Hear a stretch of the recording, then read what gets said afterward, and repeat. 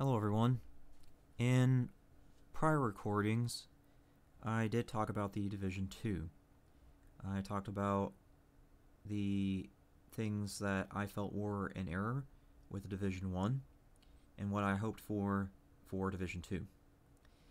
In that recording, I was hoping that the Division 2 would stick to the story. The story is about agents who are the last line of defense, those agents are more than likely law enforcement military trained. The weapons, I thought, should stick to that story in terms of using weapons that fit a military or law enforcement profile. They did to a certain extent, but there are some weapons that I don't agree with. Then there's also the issue of old weapons. I'll go ahead and talk about all that. So here's the chart I made to show you all of the weapons I expected to see and also some of the old weapons are in here. Uh, meaning that these are weapons that show up in Division 2. At least some of them. So, an example is the SA-80 LSW, uh, M60, and M249. These are weapons from the prior division. They're here in Division 2. The reason I'm not too happy about that is because of the issues that we saw during Division 1. Light machine guns were never in a good place in Division 1. As a matter of fact, people never really used them. The weapons that I just listed would appear to have the same stats as Division 1. That's not good they will need some sort of uh, buff or something. I am not entirely sure quite yet. But um, another thing that bothers me about this, uh, the SA-80 LSW is fine for a military or law enforcement profile, though I just don't understand how they're acquiring a British weapon. But um, I'll go ahead and get to the M249 M60. The reason I don't agree with these two is because of their weight. These are squad weapons. People have to help you carry that, from what I've seen with military training and tactics. I don't know if they still do it, but I'm aware that back in the old days, when the M60 and M249 were in use, one person would carry the weapon with bipod, scope, and all, and the other two people that were assigned to the weapon uh, would carry the ammunition. They are that heavy. It does not make sense to see this with agents who are constantly on the move. I'm not saying the game has to be 100% realistic, but it would be nice if they matched the weaponry with the story, is all I'm saying. Okay, let's go ahead and talk about this a little bit more while I have this up. The uh, modification system I think is a lot worse than Division 1. A lot of the modifications that you have always have a drawback of some sort. The only one that has a drawback that is manageable from what I saw was the VX12 scope, which was uh, the 12 times sniper scope. It gave you increased headshot damage, but reduced your reload time. That's fine. But what isn't fine is something like that one scope, and I forget if it was the reflex, red dot, or whatever, but it minus your critical hit chance for accuracy or something like that. That's not good.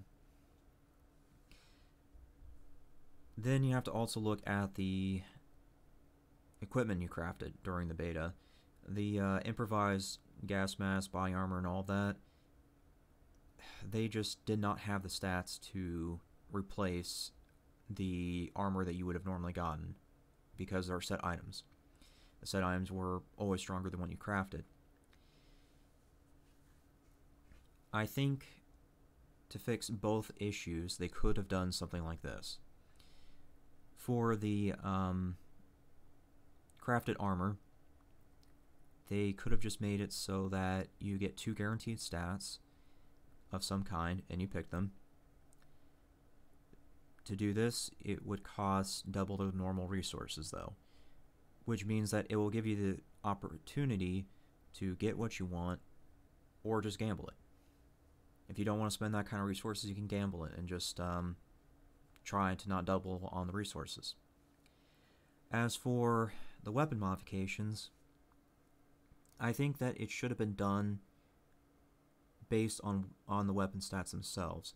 I think what they were trying to do with the modification system was to customize weapon towards the um, person's specific uh, desires. I don't know if that's true, but that's kind of the feeling I'm getting. If that were the case, then you just add more weapons to this game. The modifications should be a complement to the base stats, not a complete change in my opinion. So let's look at an example. Let's say if they did add the M27 uh, infantry automatic rifle. That's uh, what IAR means. Then this particular weapon would have a certain base stat, such as high rate of fire um, and accuracy. It would have more rate of fire than an um, assault rifle. Right, so this would fit for people who are able to control their weapons, or for that matter, like to play kind of a support role. The accuracy and rate of fire shouldn't be determined by a mod. That should just be part of the base thing. This kind of goes into another thing that I suggested when I talked to uh, several other people about the Division 2 and what I also posted in the forums. There's other things too that they could have done to kind of further this. For example, um, the LMG, LSW, DMR, and sniper categories I think they should have been able to have access to a bipod. The bipod could have given a uh, plus percent um, stability for being in cover. It'd be completely different from a pistol grip, which would give you just stability for having it, right? So that makes it a very specific mod towards a very specific playstyle. If you know you're going to be in cover and you want to lay down fire for your teammates, then you would pick one of those weapons and put a bipod on. That's kind of where I'm going with that. That's just the weapons, though.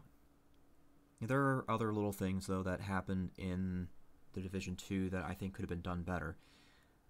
I like the idea of trying to do new dynamic stuff like control points, um, enemy defense points, and things like that. But at the end of the day, it is a nightmare. When you get a control point, they need supplies in terms of food, water, and components. The annoying thing is that in order to donate said supplies, you have to go to the control point and do it. I would have rathered a donation system based on uh, a safe house or a settlement. That way you could just donate it there and they would distribute it automatically for you. No traveling to the other spot. That way you can get things done all in one. The settlements or safe houses where you go to uh, sell this the junk that you get and things like that. So you end up doing more than one thing at a time when you go to uh, the safe house and the settlement. Another thing that they could have done is maybe make a late game modification system for settlements and uh, safe houses. Uh, make like farms or water systems or something something that would allow these control points to be more efficiently supplied. But uh, yeah, I'm going to go ahead and link you all this so you can um, look at this if you want to. But that's the most I have. Thanks for listening.